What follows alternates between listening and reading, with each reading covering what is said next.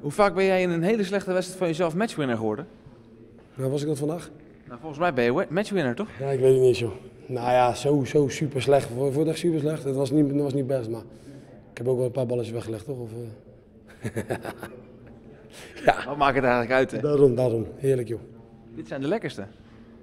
Nou, ik heb het liever wat makkelijker, want eh, iedereen heeft wel een beetje pijntjes hier en daar. We, zijn redelijk, eh, we, hadden, we moesten diep gaan. Uh, Helmond Sport kwam je natuurlijk frank en vrij naartoe. Je hebt niks te verliezen en speelde redelijk, denk ik. Uh, daar hadden we het gewoon lastig mee. Ja, maar ik bedoel meer, dit zijn de lekkerste. Fansupport bestaat 20 jaar, er is veel vuurwerk, er is veel gedaan door de supporters. Dan wil je wat teruggeven.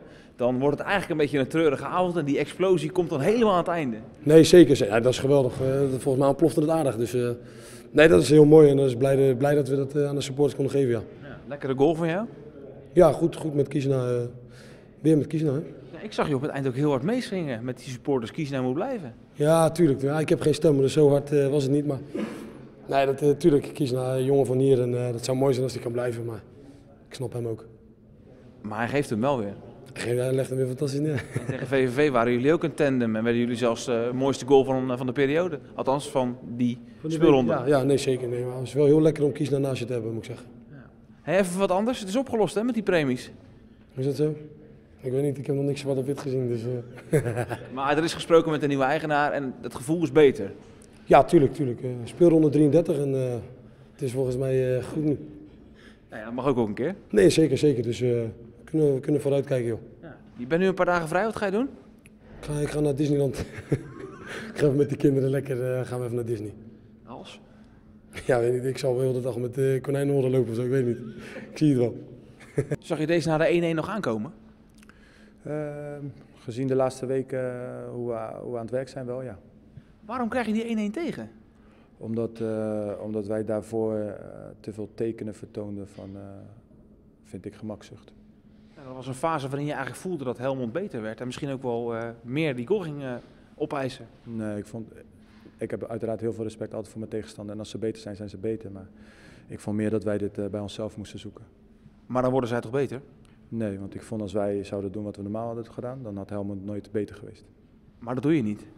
Nee, dat doen we niet. Dus dan lag het aan onszelf, niet aan Helmond vanwege het goede spel. Dus technisch, tactisch, dat Helmond beter was. Maar wat kan je dan als trainer als je dat ziet? Ja, het is, is, is altijd uh, lastig als je dat ziet. Dat uh, heb ik ook geprobeerd om dat te veranderen. Het, het zij ook met wissels. Maar goed, het is uh, lastig om daar grip op te krijgen. Toch merkte je in het stadion wel, hè, de supporters die met vuurwerk bezig waren, 20 jaar bestaan, maakten er wat moois van. Die hadden die explosie in die extra tijd ook echt even nodig, hè? Ja, zeker. Ze verdienen het ook. Weet je. Ook de spelers, laat ik dat vooropstellen. Dus misschien klink ik nu een beetje kritisch, maar dat ben ik helemaal niet. Want ze verdienen dit ook, het publiek ook. We hebben zo vaak aan de verkeerde kant gestaan uiteindelijk na, na 96 minuten.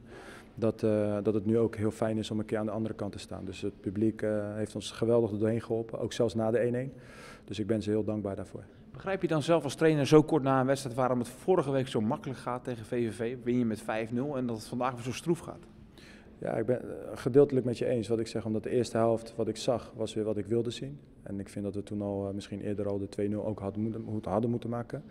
En vervolgens hoe we uit de kleedkamer komen, daar maakte ik me zorgen om. Omdat wij zelf aan de bal technisch, tactisch niet brachten wat we zouden moeten brengen. Ja, en dan kan je jezelf altijd in de problemen brengen. Ja, na afloop zingen de supporters kiezen en moet blijven. Zong je mee? Ja, zeker. Als ik voor kiezen naar een liedje moet zingen, doe ik dat. Ja, zeker. Denk je dat het helpt? Ik heb geen, uh, ik heb geen mooie stem, nee. Nee, maar denk je dat het zingen van de supporters helpt? ja, ik denk het wel. Ik denk als zij genoeg uh, affectie en liefde tonen voor hem. Uh, hij is een gevoelige jongen en dat zal hem zeker, zeker raken. Wat maakt dat hij nu on fire is? ja, moeilijk om te zeggen. Ik hoop dat hij zich goed voelt in de positie die we voor hem gecreëerd hebben. Ik denk dat het team ook hem daarin ondersteunt. en het blijft gewoon een geweldige voetballer. Hij is een zwerver, hè?